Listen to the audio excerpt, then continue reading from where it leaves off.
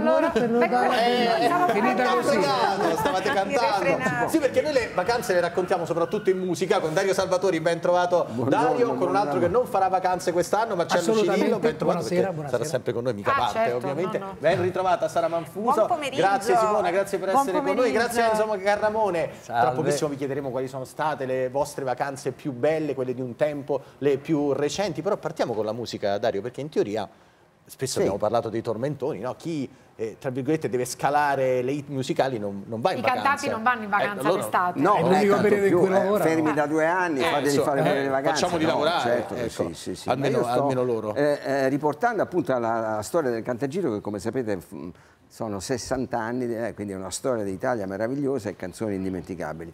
Mi viene in mente Cantagiro del 68 con una Giuni Russo.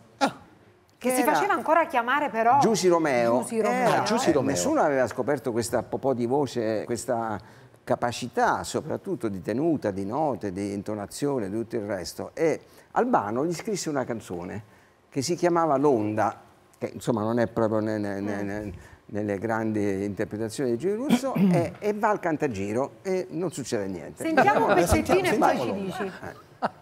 Tutti ci siamo guardati Ma come dire, ma mica sì, lei.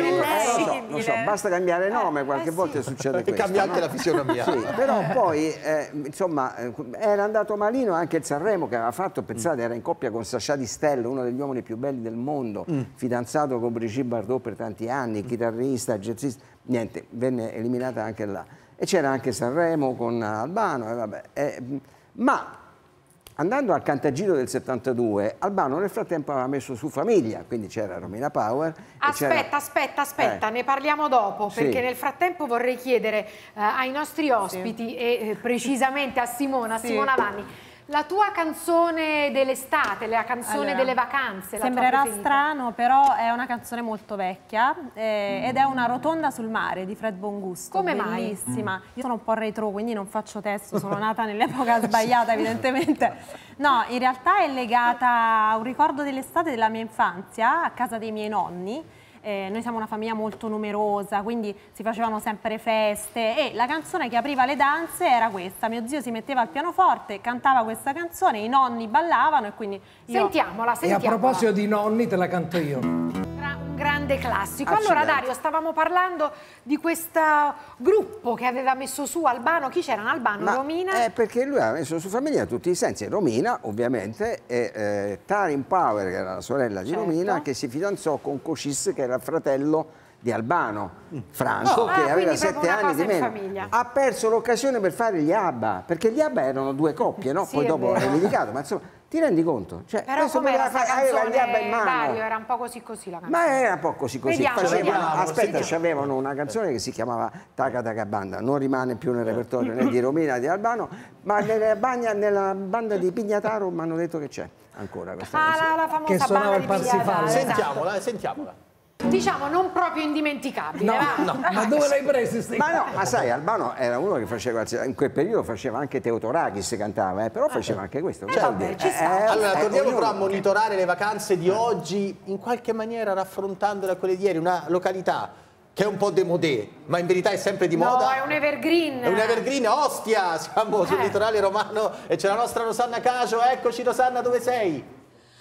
Allora, sono a Ostia, però innanzitutto volevo dare un po' di informazioni perché è accaduto qualcosa che non accade da mesi, cioè c'è stato un temporale estivo, 5 minuti di acqua, quindi sì, 5 minuti fa, 10 minuti fa. l'arcobaleno ora. Adesso è arrivato l'arcobaleno, ma non si vede ovviamente, non possiamo farvelo inquadrare perché non si può con la telecamera, quindi già vi diamo un'informazione alquanto particolare, però fa più caldo di prima. Io sono qui a Ostia, in, in uno stabilimento storico, perché negli anni 50 e 60 qui si facevano le feste dopo la fine delle riprese eh, cinematografiche, in particolare dopo i film di Fellini, dopo i film dove c'era Alberto Sordi. E io sono qui con il direttore artistico di questo, di questo stabilimento perché le cose nel tempo sono un po' cambiate, vero Kevin? Abbastanza, sì, anche se girano tanti film anche adesso, festeggiamo diciamo la sera, non più dopo le riprese E i tempi sono cambiati, prima era tutto quanto un po' più semplice, molto familiare, molto genuino. Ora è diventato più glamour, eh, si ricerca il privé, la posa, la foto sui social, eh, la bottiglia, lo champagnino. non si chiamano più feste, ma si chiamano party, che c'è differenza. I pari, i pari, eh, sono molto importanti, come si dice, no champagne, no party, no? Ecco, possiamo Prima si parlava in studio che anche della musica che si ascolta, sì? È un tempo, poi Ostia era un po' legata no, a quella vacanza familiare, l'abbiamo detto prima. Sì, Tu eh, ci andavi? Io ci andavo, io Ah, andavo. sì? Col eh, sì, cocomero, il eh, cocomero. sono stato- Il cocomero, No, la lasagna. no, te ecco, lo dico quindi- io, andava col panino, con la mozzarella, il pomodoro e, il prosciutto. e il tonno. Ma la frittata Ecco, di pasta, la frittata di La maccheroni. frittata di ma- cioè, ecco, adesso Ostia nessuno si la presenta più così, conosce? Rosanna, Eh. vero? Ecco, no. No, assolutamente. Io ancora me la faccio però, eh, devo dire io la frittata di maccheroni me la mangio, però di nascosto, si nasconde un attimo, prosciutto e mozzarella ce le mangiamo, però poi andiamo a fare, facciamo i glamour eh, durante le serate, ci vestiamo più carini, c'è la musica quella giusta, come si dice pettinata col mignolo alzato e poi si fa le pose, le foto. La musica è un po' cambiata però. La musica è cambiata, però Certo. Tor- torniamo va al alla- latino, va alla reggaeton, va alla pop italiana di oggi, però qui facciamo anche serate vintage e quando partono le hit di una volta ballano tutti. Eh, tra poco ne eh, facciamo partire altre, ne facciamo partire altre anche da qui. Allora, Enzo Carramone, ci racconti qual è la tua vacanza indimenticabile e anche in questo caso a La quale canzone, musica? sì. Allora, io la, la mia vacanza indimenticabile è la vacanza eh, che corrisponde alla mia prima tournée. Nell'83 partii in tournée con Teddy Reno e Rita Pavone. Venivo dal Talentiere, che avevo vinto il Talentiere. Sono partito con loro, abbiamo fatto 60 date in giro per l'Italia.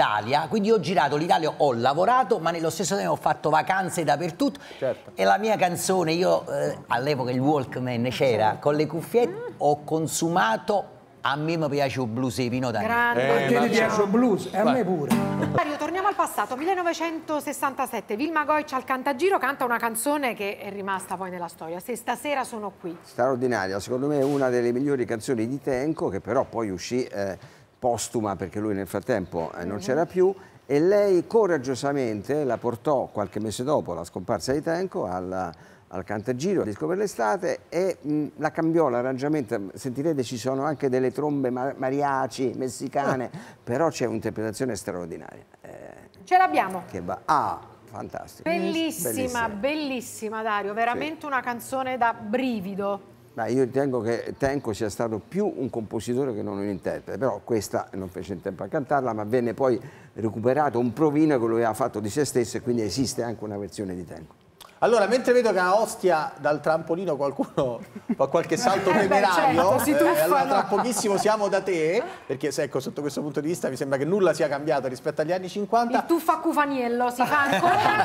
Cioè, co- cosa? A il tuffo a Cufaniello. Cufaniello, A te lo spiego Cufaniello. dopo. No. Sara, la tua estate del cuore, la Beh, tua ma, io dico, preferita? ma io lo dico ad una napoletana, siccome ho ascendenze napoletane anch'io, la mia estate del cuore è sempre stata quella con la mia famiglia appunto a Napoli, a Vico Equense, con una canzone Anche che ha fatto... Equense? Vabbè, ma noi in realtà abbiamo fatto un clan Io di napoletani, qui vedi, caramba. Lo sto scoprendo adesso che anche lei è di Vico carambata, Equense, davvero, vabbè, questo continuiamo Dai. fuori. Napoli si dice, no, "Ah, mi scambiate assolutamente. Napoli per galleria", eh. Anche lui è del nord, ovviamente, Sì. lo Sì. sentiamo dalla voce.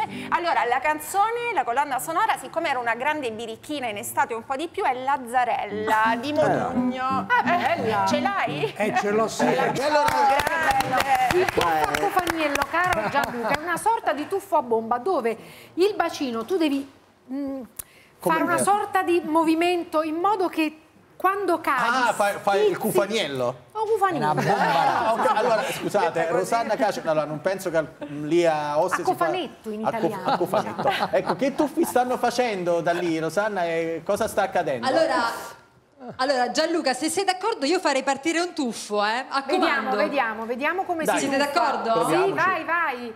Andiamo con il tuffo. Attenzione. Ancora.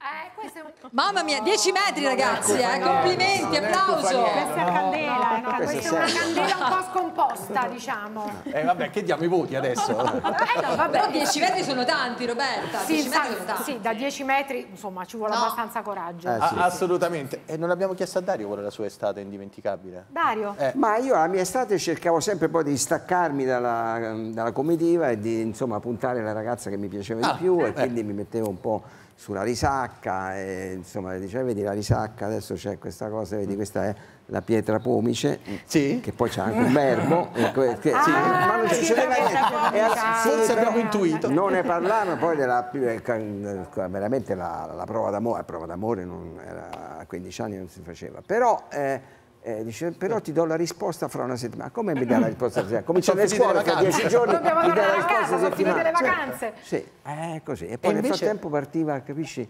Eh, lo so, verrà la fine d'agosto.